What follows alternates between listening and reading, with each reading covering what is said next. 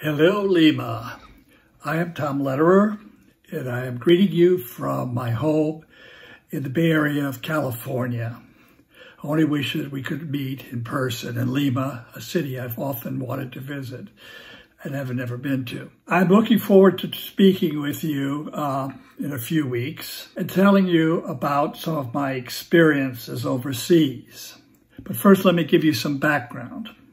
I was born and raised here in San Francisco, went through all through school, uh, public schools, and then to college, and graduated from college in 1967. At that time, it was necessary for me to make some major decisions about my life, and I decided to join the Peace Corps. They accepted me and assigned me to go to Somalia, a country that at that time very few people knew anything about or had even heard of. In the middle of June of 1967, a group of us boarded a plane, and two days later, after having stopped in Rome and Khartoum, we landed in Mogadishu, Somalia. After I was there for a few days, I got on a truck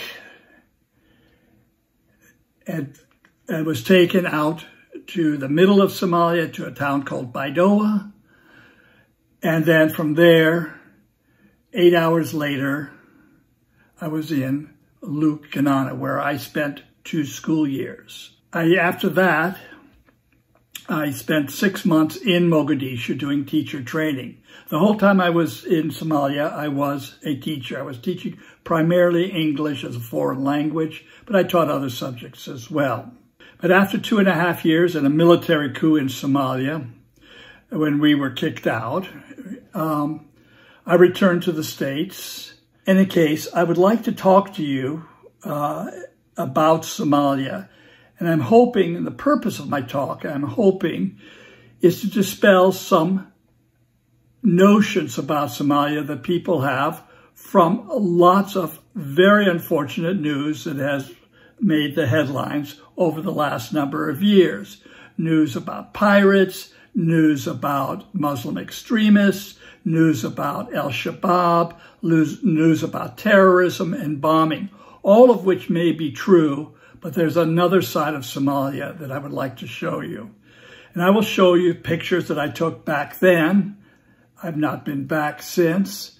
Uh, and tell you a little bit of what I know, of what's going on there now, what life is like for them, uh, for people in Somalia now. It's somewhat changed since I was there 50 years ago.